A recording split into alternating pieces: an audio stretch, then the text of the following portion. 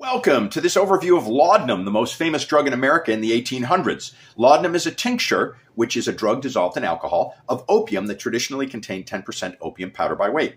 It is known as a whole opium preparation, which means it contains several alkaloids, including morphine and codeine.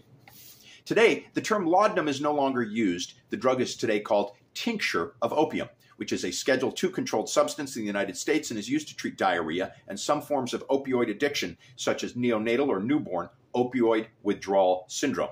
It's administered either as a drink, diluted in water, or held sublingually under the tongue. Has with it a high level of risk for overdose given its concentrated nature. Only 100 to 150 milligrams can kill an adult who has no tolerance to opiates.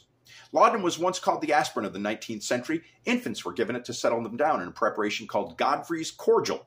Laudanum was invented by Paracelsus, the father of toxicology, born in the late 1400s. In conducting my research, I found no special slang terms for the tincture. They were all for opium proper.